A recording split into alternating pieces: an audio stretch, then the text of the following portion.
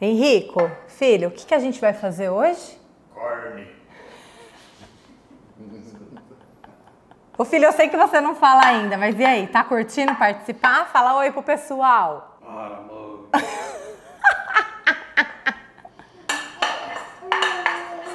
Hoje tem carne moída. Esse você já come? É. Carne moída de uma forma soltinha, delícia, perfeita, pra você nunca mais errar na carne, né, filho? Roda a vinheta, fala.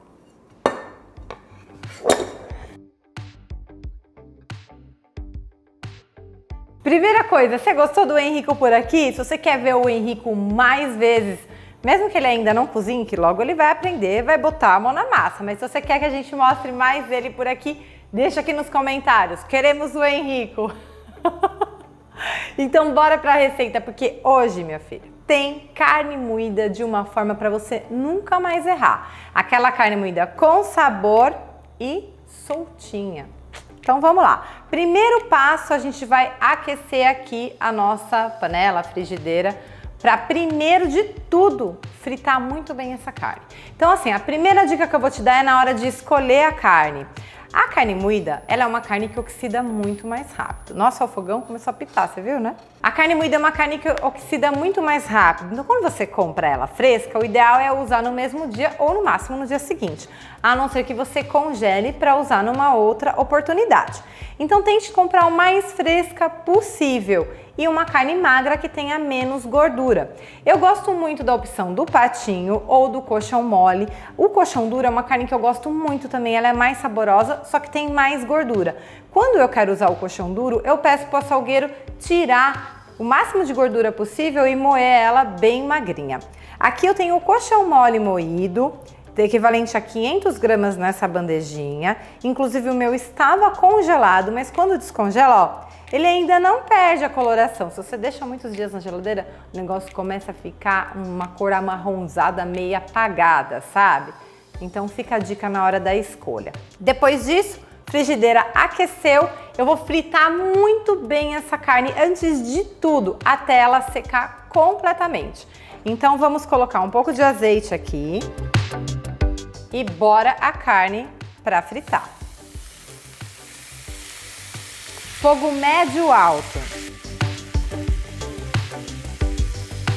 Enquanto essa carne vai fritando, você vai dando uma mexida para ir soltando e ela ficar bem soltinha, não ficar aqueles gruminhos, sabe? Que aí a carne moída soltinha você pode usar para diversas outras receitas. Essa aqui que eu vou te ensinar é coringa para partir daqui criar inúmeras possibilidades. Você percebeu que a água sumiu e agora tá com esse barulhinho, ó, de fritando. É porque a carne já tá no ponto da gente colocar os temperos. Não tem mais nada, nada de água por aqui. O que que eu vou fazer? Agora eu deixo o meu fogo mais baixo e vou colocar uma cebola bem picada, três dentes de alhos picados, isso, gente, é uma sugestão, tá? Eu gosto bem temperadinho, então eu capricho aí no tempero. Vou colocar também uma folha de louro e a gente vai misturar para esse tempero murchar por aqui. Dessa forma, eu te garanto que a carne vai ficar soltinha, não fica com sabor de carne moída... Como que fala, Bob? Sabe aquela carne moída meia com gosto de carne rançosa, rançosa meio esquisita, sabe? O segredo é fritar, gente. Frita essa carne antes de qualquer coisa na vida. Você vai deixar essa cebola aqui com o alho até eles murcharem bem. Tem um outro jeito de você fazer também, se você gostar. Você tira essa carne da panela, aí você vai regar um pouquinho mais de azeite e vai fritar o alho e a cebola separada para depois misturar. Eu gosto de fazer isso aqui, ó. Por quê? Eu já deixei a carne moída bem sequinha. Quando eu coloco a cebola e o alho, a cebola ela solta um pouco mais de, de água, né, dela mesma. Então ela vai dar uma umedecida, não vai ficar aquela carne solta, escancarada, sabe? Esturricada. Ela vai ficar mais úmida e soltinha. E para deixar ainda mais úmida e gostosa, eu vou colocar um tomate picado. Com pele, semente, com tudo. Aí aqui eu deixo só o tempo de murchar, não é muita coisa. E já tempero também com sal e pimenta do reino a gosto. Tem gente que gosta de usar cominho, é uma ótima pedida também, combina super com carne moída. Aí fica a gosto do freguês, né? O tempero que você quiser colocar, não existe regra. Se você chegou até aqui, me conta como que você faz carne moída. Você sempre fez desse jeito? Eu quero saber aqui nos comentários. Ó, o tomate murchou, não precisa deixar ele derreter, não. A ideia a gente não é fazer molho, é deixar os pedacinhos de tomate.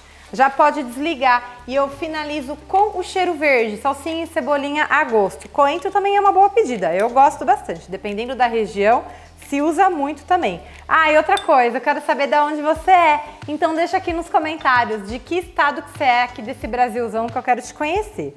Finalizo aqui com cheiro verde, ó, vou até botar mais um pouquinho. Botar mais um pouquinho de cheiro verde, ó. Tá aí uma versão de carne moída, soltinha, gostosa. Daqui pra frente, essa carne moída você vai usar pra você quiser. Pode congelar? Pode. Pode usar para recheio de salgados? Pode. Pastel, assados em geral. Carne moída com arroz, feijão fresquinho? Topzera também. Tem vídeo no canal? Tem sim. É só clicar aqui nos cards que tem arroz, feijão, uma combinação perfeita. Afinal, a carne moída é um clássico, gente, e vai bem com tudo. Espero que você tenha gostado. Eu vou experimentar um pouquinho aqui da minha carne moída. Vai ser aqui da panela mesmo. Porque o cheiro, posso falar? Tá de, ó, conquistar o Brasil. Fala aí.